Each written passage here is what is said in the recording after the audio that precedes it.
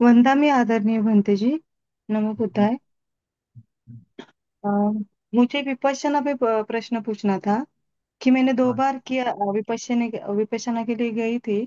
आ, लेकिन मैं दो, मुझे दो ही दो दो दो बार भी है ना। अ, ऐसा अनुभव थोड़ा सा ठीक है अ, सिर में जकड़न होना या धड़ धड़ ज़्यादा जानना। तो मैंने अ, पहले जो किया था वो सात साल के बाद दूसरा किया। अ, फिर अभी अभी नहीं कर रही हूँ उससे मुझे थोड़ा सा नहीं क्या हिचकिचाहट हो रही है तो क्या करना चाहिए? समझ की साधना करो दीदी तब तक। अभी एकांत में जब घर में बैठते हो आप पहले तो ऐसे समय में बुद्धानुस्मृति का ध्यान करो धम्मानुस्मृति का। ठीक है? इस तरह का ध्यान करने की पहले कोशिश करो। इसमें भी यदि वही सम वही भाव जागता है तो फिर हमको बताओ।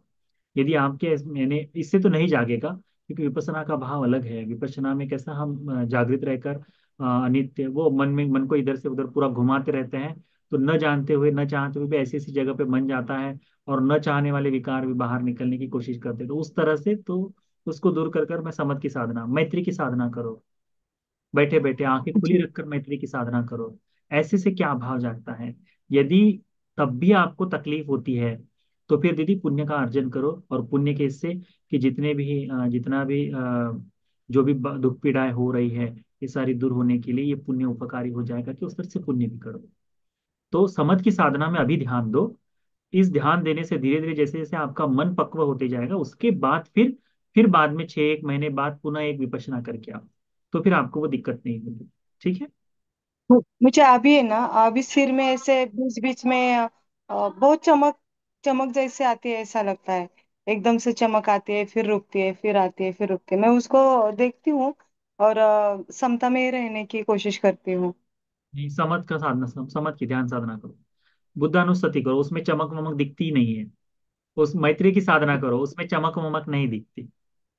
वो जो कैसे दिखने वाला जो भाव है वो खत्म हो जाता है। इसमें करना क्या है? आँखें खोली रखनी है और बोलना है कि मैं बिना बिना वैर के हो, बिना द्वेष के हो, बिना मोह के हो, या फिर बिना द्वेष के हो, बिना ईर्ष्या के हो, बिना क्रोध के हो, मैं सुखी हो, शांत सुख को पाओ।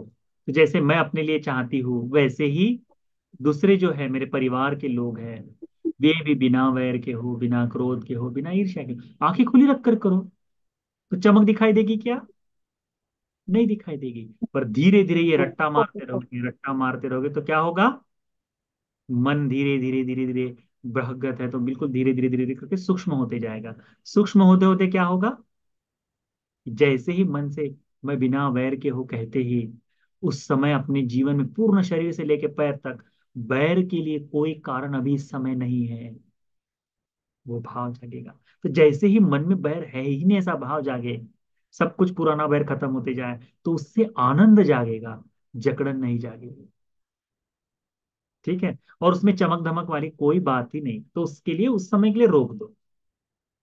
ठीक है? और फिर जब ये सब जकड़न वगैरह खत्म हो जाए चमक दमक खत्म हो जाए, ध्यान में मन एकाग्र हो मैत्री की साधना पुष्ट हो जाए, प्रथम ध्यान, द्वितीय ध्यान तक चले जाए, उसके बाद फिर विपसना करना। विपसना अच्छा है, करना अच्छा है। विपसना भगवान ने बताया हुआ उपदेश है, परंतु ज़रूरी नहीं कि हर आदमी ने उसी तरह से विपसना का अभ्यास करना चाहिए करके। नहीं तो विपसना करने वाला व्यक्ति शीलवान नहीं है। ऐसे भी देखे ना आप लोगों ने, आप जाते हो विपसना के शिविर करने के लिए तो देखा होगा कि उस समय वहाँ तक है तो शीलवान है। बाकी सब शील टूट रहे हैं। तो फिर उसकी विपसना का कोई लाभ होगा क्या? और वो कहता है कि मैंने दस शिविर किए, पचास किए, पचपन किए, हज़ार किए करके कहेगा। उसका क्या लाभ होगा? नहीं लाभ। लाभ तब है जब उससे हमारी श्रद्धा में पूर्ति हो, जब हमारे शील में बढ़ोतरी हो, जब हमें धर्म का धर्म का जो बोध है वो होना शुरू जाए। धर्म श्रवण की इच्छा जागे, श्रवणों के दर्शन की इच्छा जागे तो फिर कह सकते हैं, गोयंका गुरु जी में ये गुणधर्म थे।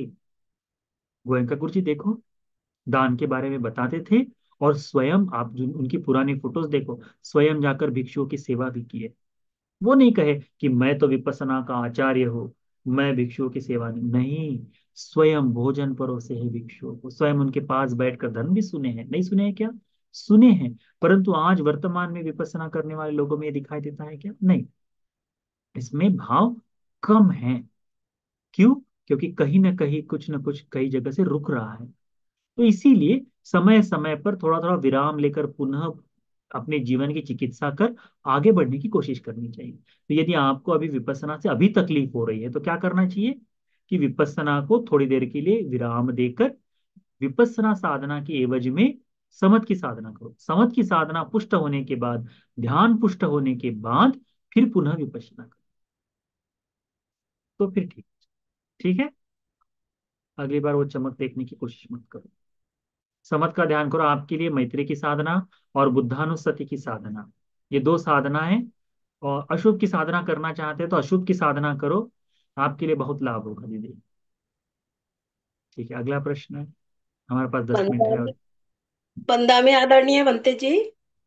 वो तो मेरा ये प्रश्न था जैसे क्षण क्षण जो भी जैसे हो रहा है तो वो अपने कर्म के विपाक के अनुसार ही होता है। किसी भी प्राणी के साथ या नया बन रहा होता है उसकी वजह से होता है। ये थोड़ा कंफ्यूज रहते हैं इसमें। दीदी सारी ही चीज़ें कर्म के अनुसार नहीं होती।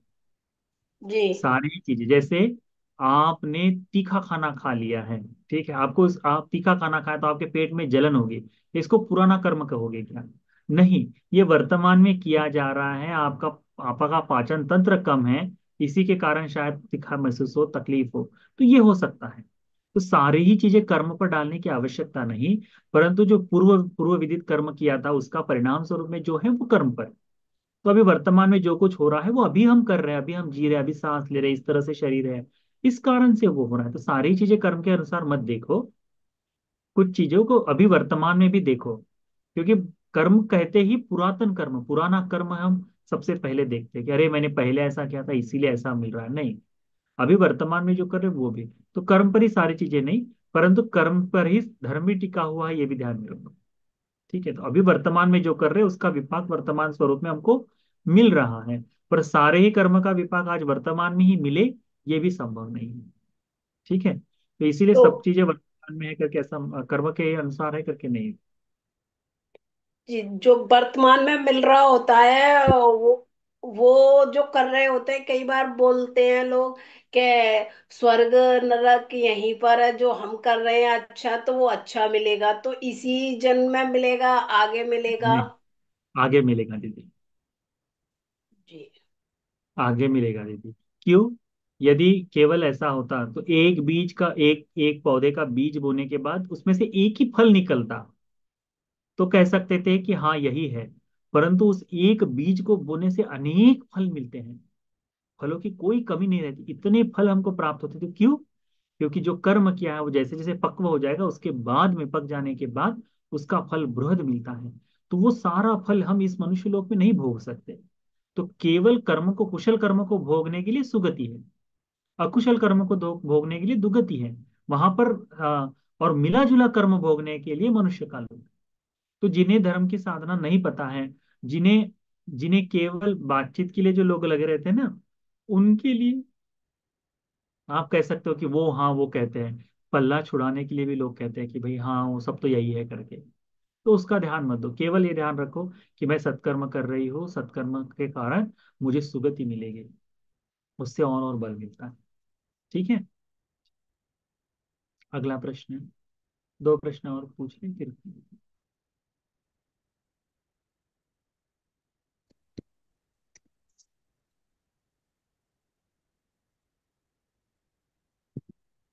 हेलो। हाँ नमो बुद्धाय अ, वंदा में बनते जी। अ, बंते जी अभी जो आपने देशना में जो अ, दो बंते जी का जो एग्ज़ाम्पल दिया था अ, वो मुझे समझ में नहीं आया। और अ, दूसरी बात अ, कि जो सिल्वर परामर्श है वो थोड़ा सा एलाबोरेट करके बता सकते हैं? अ, आ, दीदी देखो तो पहली जो मुझे हमने कहानी बताई वो ऐसी है कि भगवान ने अल्पेच्छ गुण की प्रशंसा की है। ठीक है? हम्म। अल्पेच्छ अल्पेच्छ यानी कि जो मिला है उसमें संतुष्ट हो जाने वाली भाव ठीक है? हाँ और हाँ। वो एक है। और तो उस कारण से जो ध्यान साधना है तो अपनी ध्यान साधना दूसरों को दिखाने का भगवान ने बात नहीं कही है। कि जैसे कोई भिक्षु है यदि वो प्रथम ध्यान लाभी है तो वो यदि चार लोगों को बताता है तो उससे क्या होगा? उसको प्रसिद्धि पाने के लिए। जिस दिन ध्यान खत्म हो जाए तो। प्रसिद्धि पाने के लिए झूठ बोल सकता है। तो अल्पेच्छ का भाव है कि उसमें अल्पेच्छ रहते समय अपने जो गुणों को है उसको छुपा के रखना है।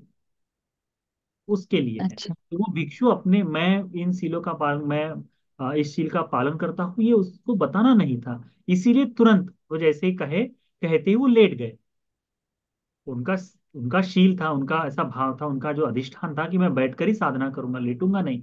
परंतु ये जो ध्यान है ये ये जो भाव है वो दूसरे को न पता चले, अपने आप में संक्षिप्त रहना, उनको अल्पेच्छ रहना, इसीलिए बंते जी ने तुरंत लेट गए। इस कारण उनकी हानि नहीं हुई, इस कारण उनका धर्म ही बढ़ा है, ऐसा है। दिखावे के लिए कि न करो, यही बात है उससे एक तरह से जानो तो। तो अल्पेच्छता वो भी आ जाती है। वो और दूसरी बात कि शीलबद्ध परामर्श तो शील को भिन्न भिन्न तरीके से समझकर दृष्टि को बना लेना। सील क्या है? बहुत सिंपल है। पानाति पाता वेरमणि सिक्खा पदं समाधियामि। तो जानवरों की हिंसा नहीं करूँगा, प्राणियों की हत्या नहीं करूँगा। फिर इसमें यदि वो आ जाता है कि अरे, मैं तो सांस लेते समय बहुत से जानवर को खा रहा हूँ, मार रहा हूँ तो मैं मास्क पहन लूँ। अरे, मेरे आँख में कीड़े पड़ गए हैं या फिर आँख में उंगली में चोट लग गई, वहाँ पर पीप आ रहा है, अरे, वहाँ पर कीड़े पड़ गए तो मैं दवाई नहीं डालूँगा। है ना? पेट दर्द दे रहा है तो डॉक्टर ने कहा, पेट में कीड़े, मैं पेट के कीड़ों को कैसे मारू? वो तो मर जाएँगे। तो वो दवाई नहीं खाना। क्योंकि क्यों? क्योंकि मैंने पालन किया है पानातिपाता वेरमणि ये क्या है? मैं वॉशरूम जाता हूँ। वॉशरूम में बता है कि भाई जर्म्स है करके जर्म्स करके बताते छोटे छोटे कीड़े हैं, कीटाणु हैं। मैं इनके लिए हार्पिक नहीं इस्तेमाल करूँगा। तो क्या है ये? सील है, सील का अर्थ भगवान ने बताया है। इस सील को, उस अर्थ को बिल्कुल विपर्यास कर दिए। उसका अर्थ ही बदल दिए कि सब कुछ त्याजनीय है। तो वो हो गया सीलबद्ध परामर्श तो मैं बेकार बगैर चप्पल के चलूँगा उस तरह से मेरा अधिष्ठान है इससे मेरी मुक्ति प्राप्त हो जाएगी। ऐसे कोई शीलों को बना लेना जो भगवान ने नहीं बताए और इससे मुझे मुक्ति प्राप्त होगी ऐसी दृष्टि बना लेना क्या है? सीलबद्ध परामर्श। तो गृहस्थ के लिए जितने सील बताए उतने का पालन भिक्षुओं के जितने सील बताए उतने शीलों का पालन वो पर्याप्त है भिक्षुओं के लिए। तो वो सीलबद्ध परामर्श से परे हो जाए। ठीक है? ठीक है। वंदामी बनते जी आदरणीय बनते जी वंदामी सुखी हो भैया मंगल हाँ मैंने ये जो हमारे आ, नाम मेरे को नहीं मालूम है लेकिन मैं उनकी जो बताई हुई विधि है आनापान सती की वो हाँ ध्यान में कर रहा हूँ। तो हम्म, उन्होंने उस, उसमें बताया है उन्होंने कि श्वास को श्वास की पूरी काया को जाननी है तो हम्म। वो मुझे नहीं समझ में आता है। काया में श्वास को जानने का मालूम पड़ता है लेकिन श्वास की पूरी काया नहीं समझ में आता है।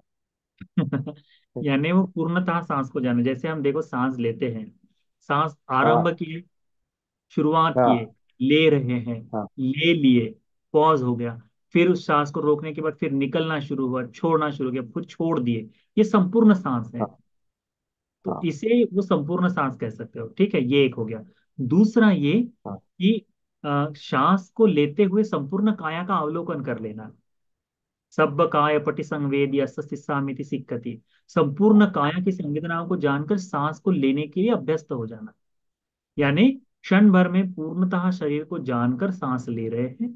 क्षण शरीर को जानते हुए सांस छोड़ रहे हैं। इसका अभ्यास करना है। हम्म, तो वो हो गया। तो उस तरह से है सर शुरुआत में तो यही मुश्किल हो जाता है भैया कि आ, शुरुआत में तो सतोवा ससति सतोवा पससति सांस ले रहे हैं सांस छोड़ रहे इसको पहले ध्यान दो। फिर दीघंग वा ससंतो दीघंग वा ससामे दीघंग पससामे आ, रस्संग वा पस रस्संग वा पसंतो तो ये स्वल्प सांस छोटी सांस है बड़ी सांस इसको जानना। अधिकांश समय लोग क्या कहते हैं करते हैं कि कंट्रोल करना शुरू कर देते हैं। मैं अभी छोटी सांस लूँगा। इस तरह से। मैं बड़ी सांस लूँगा इस तरह से चिंतन। तो वो नहीं। दीर्घ अभ्यास के बाद पता चलता है कि हाँ मैं अभी छोटी सांस ले रहा हूँ। अब मैं बड़ी सांस ले रहा हूँ। कंपैरिजन हो रहा है ना? उस तरह से जानना है। फिर बाद में धीरे धीरे जाकर इस तरह से जाए ठीक है? तो उस तरह से अभ्यास करो तो जी, और बनते मुझ पे अनुकंपा करके एक बनते हैं जो श्रीलंका गए हैं वर्षावास के लिए। वहाँ से आने वाले हैं तो मुझे एक अवसर मिला है उनको चीवर दान करने के लिए।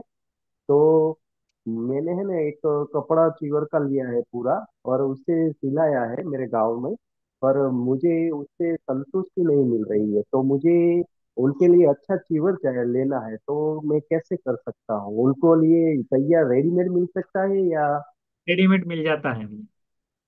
अच्छा रेडीमेड मिल मिल- रेडीमेड अ, मिल कहाँ जाता है। आ, हम आप आ, एक काम करो संदेश भैया के साथ आप बातचीत कर लो। हम आ, बताएँगे अच्छा। कि आप कहाँ रहते हैं? हम गुजरात अ, नवसारी जिला में है गुजरात हाँ में। गुजरात में भी अवेलेबल है। नहीं तो फिर महाराष्ट्र से कोई हाँ। ना कोई पोस्ट पोस्ट, पोस्ट कर देगा आपको। आ, संदेश भैया से हाँ। बातचीत करो। संदेश भैया जब हमको बता देंगे तो फिर हम आपको उसके बारे में हाँ। सोचेंगे। ठीक है?